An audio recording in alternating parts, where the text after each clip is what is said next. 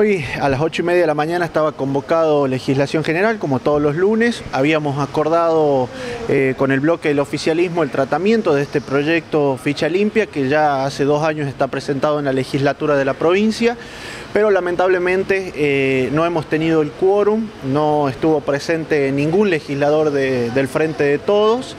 Y, se ha imposibilitado nuevamente eh, el tratamiento. Observamos que eh, claramente hay una incomodidad de hablar eh, de este tipo de, proyectos en la legislatura de la provincia, pero más allá de esto, eh, no, no, vamos a agotar los canales de diálogo y tratar de generar los consensos necesarios para avanzar en esta iniciativa que busca prohibir que las personas condenadas en segunda instancia en diferentes, eh, con diferentes delitos, no solo de, corrupción, sino también de narcotráfico, de integridad sexual, de, contra la libertad, contra la vida, eh, no sean candidatas a cargos electivos ni partidarios.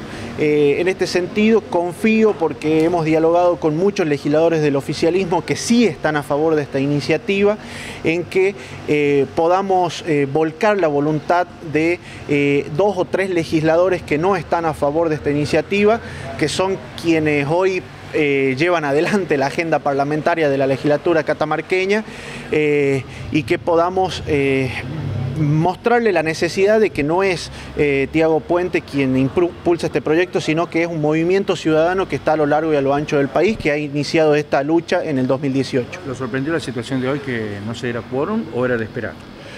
Eh, un poco y un poco, era eh, de esperar de que el Frente de Todos eh, primero acceda al tratamiento de, ficha limpia, luego no sé qué habrá pasado en el camino que eh, han decidido no dar quórum para, para, que podamos avanzarlo.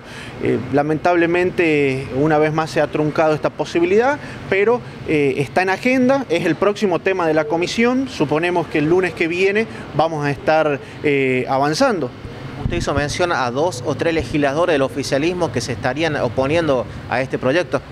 Sí, así es. Eh, concretamente eh, lo han expresado eh, en algún momento la presidenta de la Cámara, Cecilia Guerrero, aduciendo a que en este sentido el proyecto va en contra del principio de inocencia. Bajo ningún punto de vista esto sucede.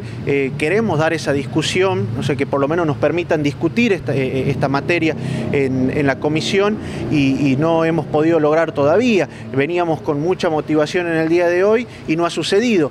Desde el 2020 que hemos presentado el proyecto a hoy, ha avanzado eh, a lo largo a lo ancho del país. Ya son cuatro las provincias que lo convirtieron en ley. Jujuy y Mendoza que gobiernan Juntos por el Cambio y Chubut y Salta que gobierna el peronismo. En, Chubut eh, se ha avanzado por unanimidad, entonces eh, observamos ahí que existe voluntad de, de, tratamiento y con posibilidad real. Así que bueno, queremos que en este sentido Catamarca eh, pueda avanzar en una legislación eh, que le va a devolver la confianza a la política eh, en la gente.